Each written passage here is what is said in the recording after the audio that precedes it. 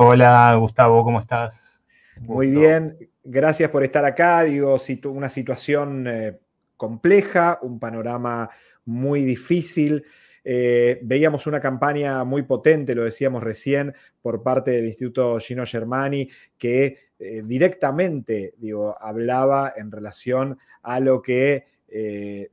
se hace desde las ciencias sociales, eh, para qué, cuál es la, qué es lo que generan a nivel social las ciencias sociales. Pero si querés, contanos un poco primero tu análisis de lo sucedido hace muy pocas horas el domingo con esta elección y en segundo término, entender el centro de poner eh, en juego la importancia de las ciencias sociales.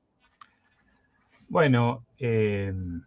la verdad es que los resultados de la elección del domingo tenían mucho de previsible. Eh, a veces las ciencias sociales se caracterizan por tener baja capacidad predictiva, pero en este caso, eh, aunque muchos sectores no lo quisiesen aceptar o, creer, eh, los datos eran bastante contundentes, las encuestas que se habían hecho, que ya venían de hace mucho tiempo, señalando cierto descontento profundo de la sociedad argentina con esas promesas incumplidas de la democracia a, 40 años del retorno. Creo que no es el primer momento en el que se manifiesta este malestar. Eh, ahora se ha expresado de un modo fuerte, eh, de un modo que tenemos que, aclarar que claramente no es racional, eh, porque las razones del voto son múltiples, complejas, hay mucha gente trabajando y estudiando eso, eh, pero también, y como decían algunos de los entrevistados previamente, eh, está claro que una parte importante de ese casi 55% que ha optado por, por la propuesta de Javier Milei en el balotaje una parte importante de esa mayoría se va a ver rápidamente mm, disconforme, descontenta, eh, traicionada en alguna medida. Eh, y ahí mm, lo que me parece es que hay como un, problema recurrente, ¿no? que es la democracia que incumple, eso genera más proceso de despolitización, genera más crítica a los políticos eh, y anula la discusión política, la participación política. Eh, el discurso de Milley estuvo muy centrado en esa idea de la casta, la denuncia a la casta, la casta política, en el canto de que se vayan todos, que es un canto que nos recuerda tristemente al 2001 y nos recuerda al modo en que se ha procesado ese 2001. Porque el que se vayan todos en el 2001 no era que se vayan los políticos solamente, era que se vayan los políticos, los empresarios, los banqueros, los periodistas, los jueces, era un todos completo. Y acá lo que se ha producido es una recuperación de esa consigna eh, que pone a eh, el proceso que estamos viviendo en una aparente línea de continuidad con la crisis del 2001, eh, pero totalmente reorientado, una apropiación indebida de, ese, eh, de esa consigna que fue una consigna en su momento potente, una consigna con posibilidades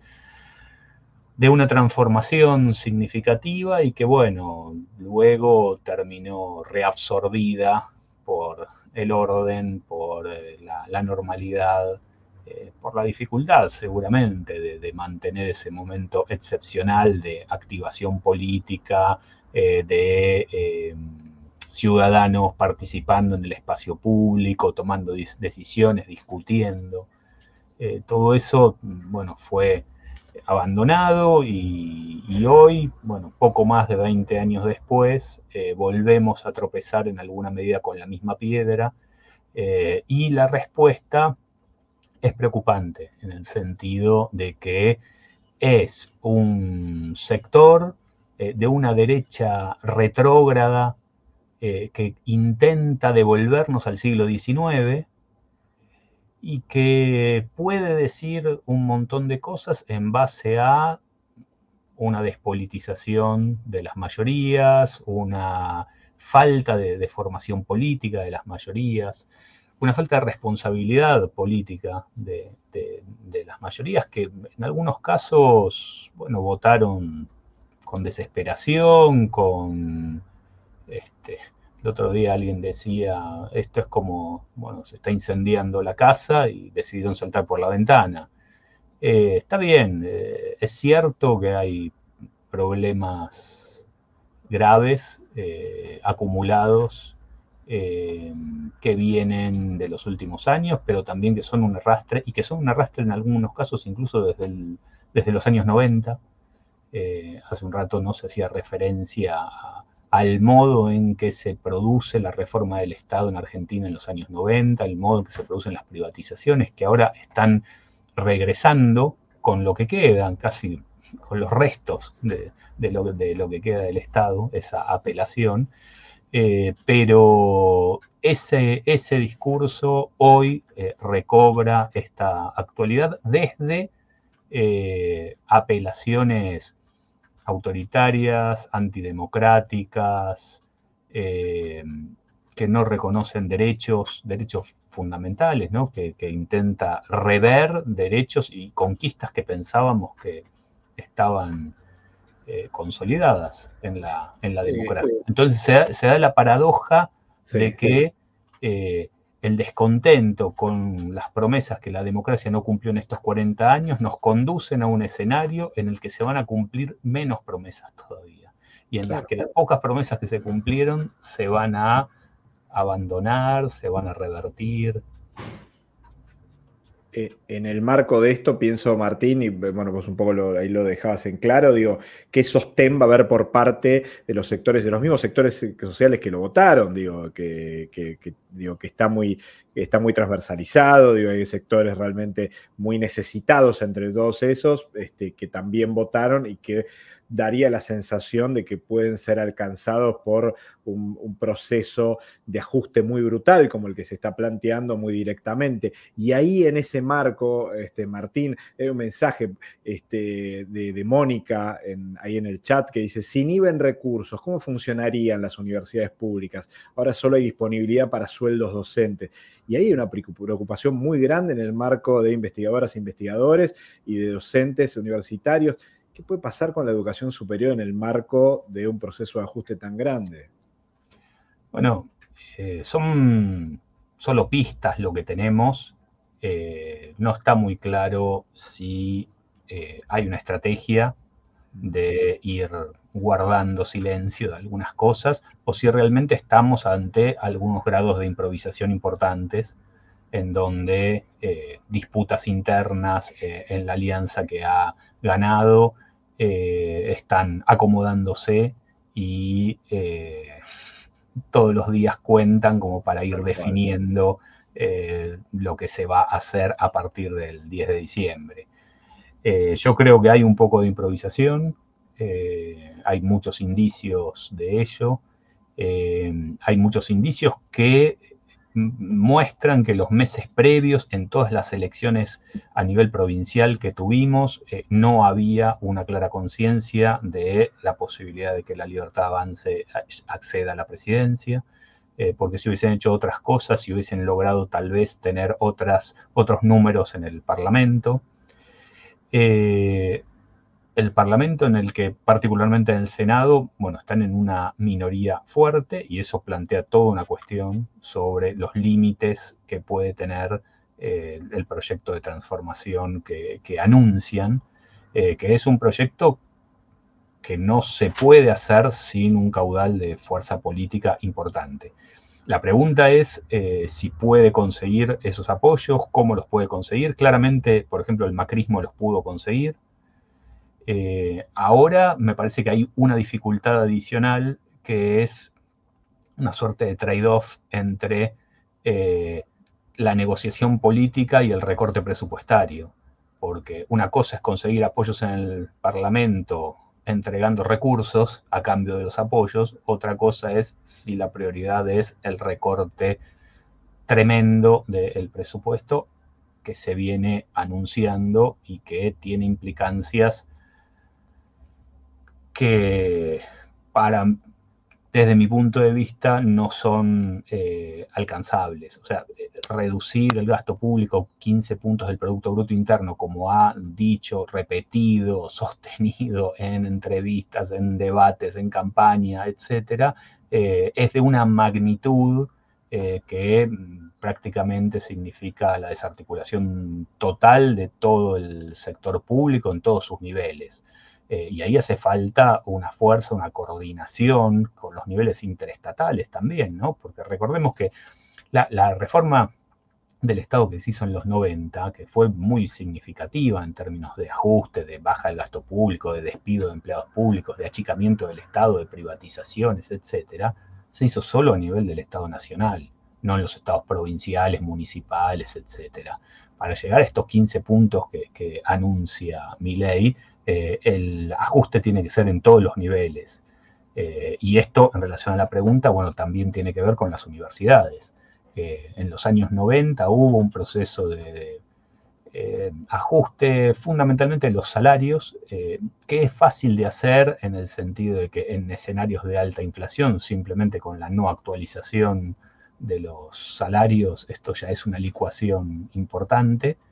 Eh, pero mm, para alcanzar 15 puntos del Producto Bruto Interno tenemos que pensar en algo mucho más drástico, mucho más profundo y que va a involucrar fundamentalmente a las principales fuentes del gasto público. Eh, me refiero al sistema de seguridad social y concretamente a las jubilaciones. Eh, si hay 5 millones de jubilados, tienen todos los números porque eso explica la parte más significativa del gasto público. Entonces, eh, sí, eh, seguramente las universidades se verán comprometidas en su funcionamiento. Eh, hay que ver si cuánto puede y se anima a avanzar con el arancelamiento, que nuevamente esa es una de las reivindicaciones del retorno a la democracia que se cumplieron, por lo menos se cumplieron parcialmente, ¿no? Porque no, olvidemos que algunas universidades nacionales en los años 90 aplicaron sus aranceles, como la Universidad Nacional de Córdoba, eh, pero en términos generales, una de las eh, promesas sí cumplidas de la democracia luego de la eh, noche de la dictadura y de los arancelamientos de la universidad en la dictadura había sido, bueno, la, la, gratuidad de la universidad.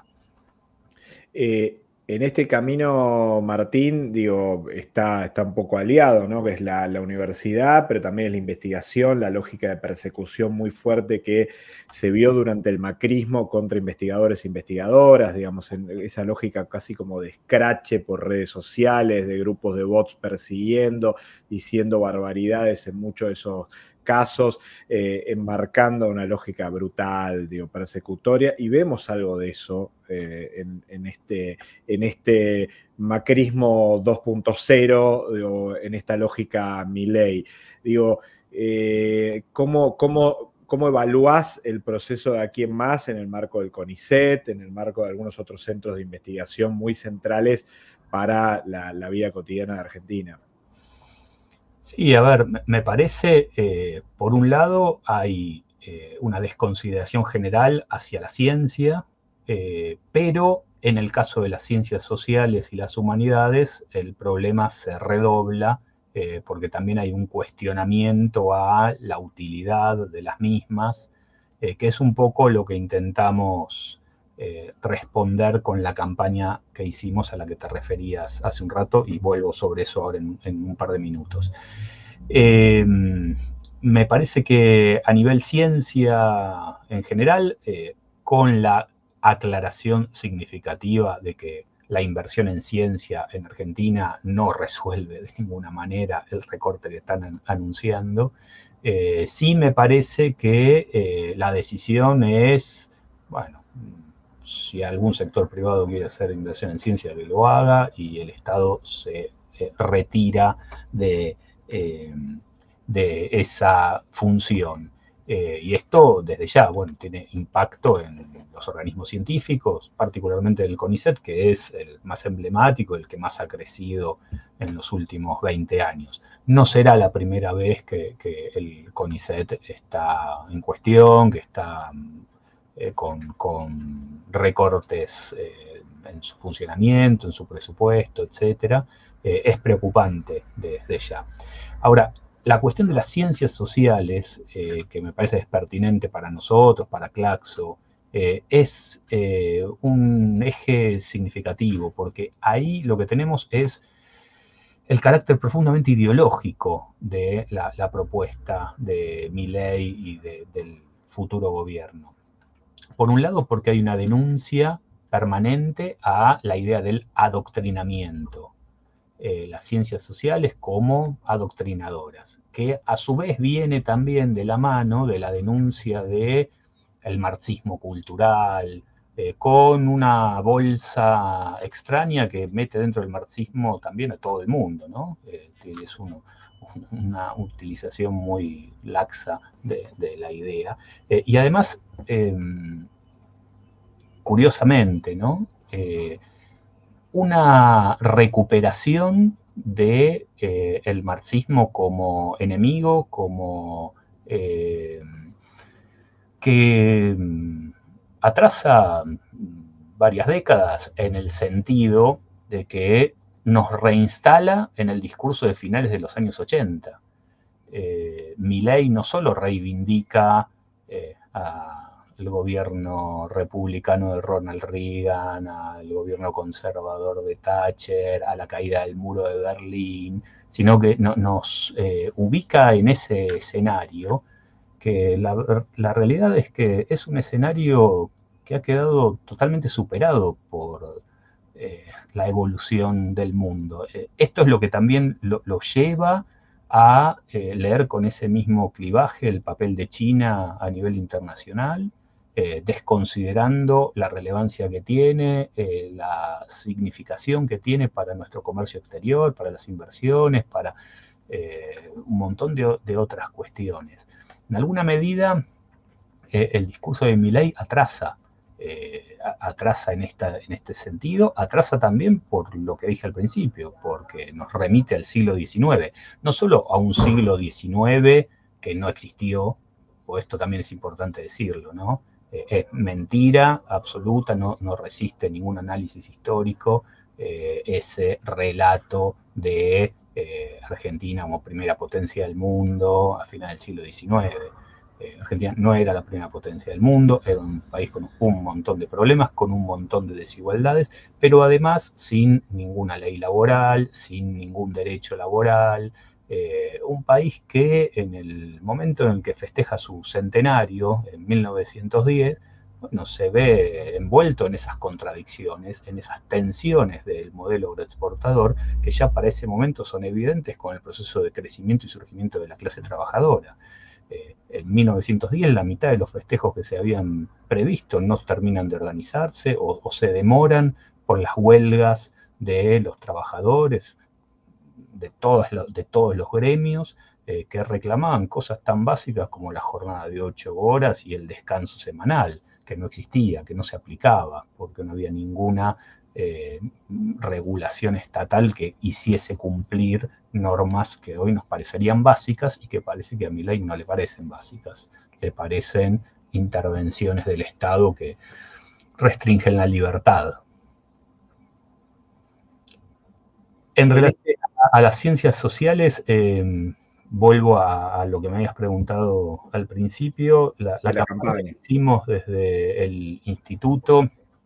buscó eh, en alguna medida, eh, y la estamos siguiendo, la vamos a seguir en las semanas que vienen, eh, mostrar otras formas en las que las ciencias sociales intervienen en la realidad. Nos parece que, bueno, parte del, discurso de cuestionamiento de la ciencia se respondió con la referencia a la ciencia que produce vacunas, a la ciencia que produce satélites, eh, y que esa no es la ciencia que hacemos nosotros y no por ello nosotros somos menos científicos que, un... Eh, Tal cual físico o un este, biólogo. Eh, en ese sentido, nosotros hicimos en el instituto, que es un instituto más de los muchos que hay en la Argentina, una compilación de intervenciones concretas de equipos del instituto eh, que fueron marco para la realización de leyes, para mm, la fundamentación de fallos judiciales, para intervenir frente a actores sociales distintos, transfiriendo, originando políticas públicas.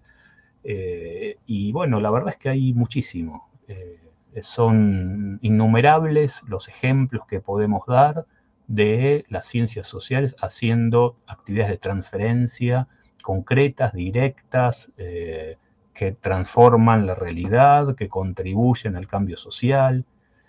Eh, así que nos parecía importante poder mostrar eso, eh, mostrar que las ciencias sociales hacen aportes significativos. Ahora, dicho esto, es fundamental también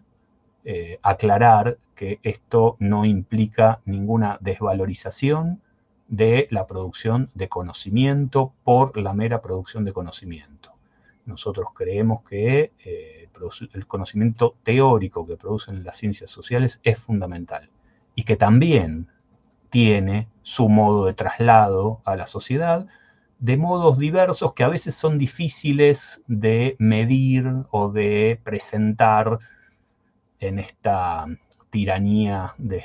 la, escasez de tiempo, de espacios, de caracteres eh, con la que nos movemos. Eh, pero son las reflexiones que se hacen en las ciencias sociales las que permiten que la agenda pública discuta, que eh, se introduzcan nuevas problemáticas, nuevas terminologías. Eso desde ya nos parece que es fundamental. Ahora hemos